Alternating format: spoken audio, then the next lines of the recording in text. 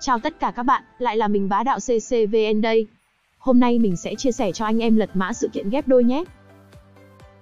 Sự kiện này quá dễ dàng rồi, chỉ cần lật hai mảnh ghép có hình giống nhau như bá đạo đăng ở clip này là ăn thôi. Mỗi ngày bạn sẽ nhận hai lượt lật khi đăng nhập. Khi lật được hai lá giống nhau, có thể nhận quả kết hợp có chứa các vật phẩm giá trị. Khi lật được hai lá khác nhau, sẽ nhận quả ngẫu nhiên có chứa các vật phẩm cơ bản. Khi có đủ 1, 3, 5 và 7 cặp giống nhau, sẽ nhận một cơ hội được chia ngọc của quỹ thưởng. Ngọc trong quỹ thưởng có số lượng giới hạn, chia hết sẽ kết thúc.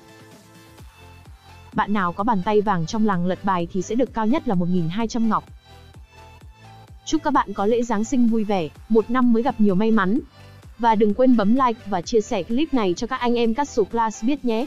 Bye bye!